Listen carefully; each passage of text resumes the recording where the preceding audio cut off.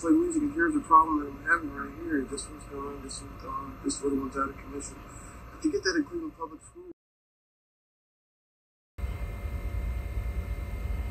Is he dead? Oh no, oh no, he's not dead. Is he alright? Yeah, he's okay. Under the circumstances. Your brother is homeless. I was very surprised to hear that he had family. But then again, I wasn't. Forgive me if I sound a little brash, abrupt, harsh, but I've been there. I've been homeless. I've been living in my car. And I came from what I thought was a big family. My mother had eight children, much older than me, and countless grandchildren comparable to my age. And they all stood by, sat by, and watched me live in my car, partaking in this crazy kind of uh, Satanism that uh, they inflicted countless acts of voodoo on me for many, many years, decades to be exact.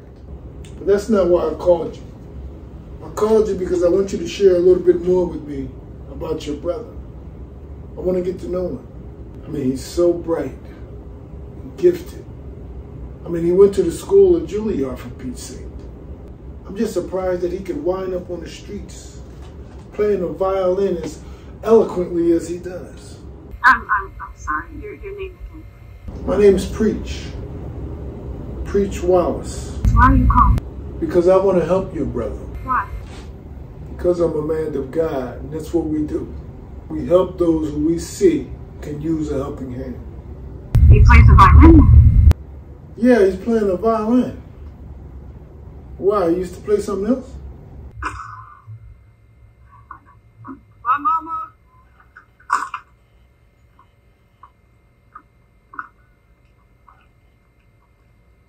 So what do you want to play for me? I'm gonna play some Beethoven, sir. I, I'm crazy about Beethoven. He was younger than me when he started playing piano. I wanted to play the piano, but so many kids played it, and there's only one at school, so it's hard to get practice time. So I chose the cello. Probably anyone in school wanted to play the cello. And Beethoven was composing when he was only 11, and I'm already older than that, so I figured I had a lot of catching up to do. Let's hear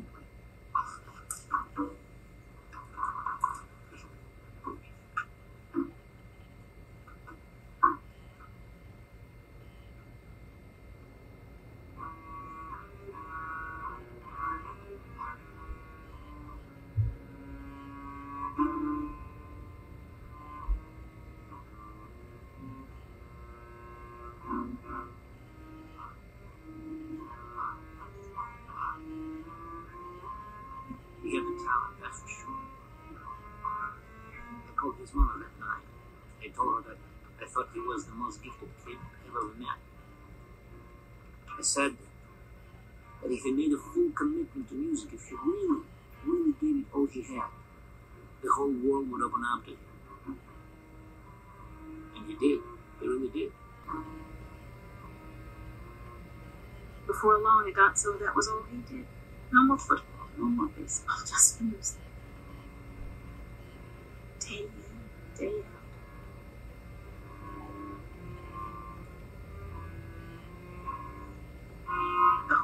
Was changing around. And that was all he did. Music.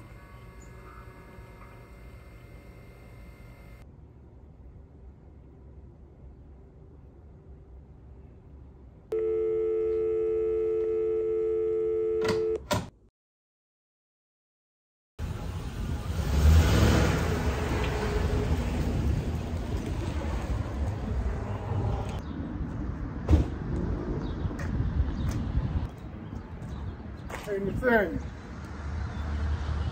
I ain't forget about you, man. I know it seems like I've been dragging my feet, but I've been committed to a lot of speaking engagements in the past two weeks. You know that it's very important that I bring awareness to gangster stalking and all of the atrocities that it entails, even homelessness, to its citizens, to its veterans, to its targets, to its own people. You know, Kobe Bryant had plans of doing something for the homeless right out here in LA. He had the money to make a difference. You see what happened to him. I'm not going to let that deter me. Anyway, on a lighter note, I put the word out that I was trying to acquire a cello for a homeless brother of mine. And through the collection of various small churches in the community, including my own church, I might add, we were able to come up with the money to acquire you, to purchase you that new cello. Let me get it for you. Wait right here.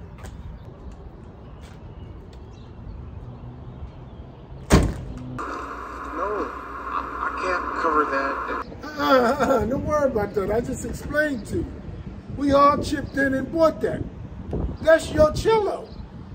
That's yours. People are very, very generous. Yeah, there are some good people. But there's one stipulation.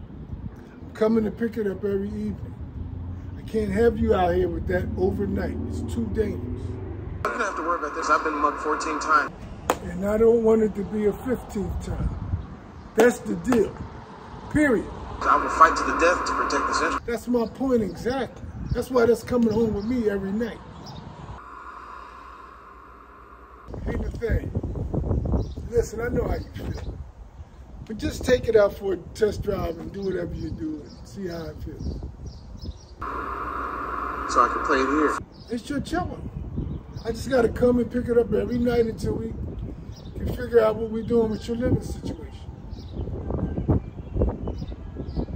Then, that's the deal. Go ahead, man. Play your cello. Go ahead, man. Go ahead, man. Play your cello.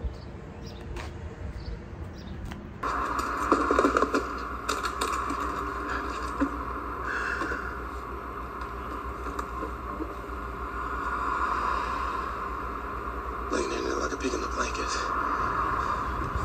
Only the greats, really. Really, only the greats. Yo Yo Ma, Jacqueline Dupre. The coolest cucumber of them all is.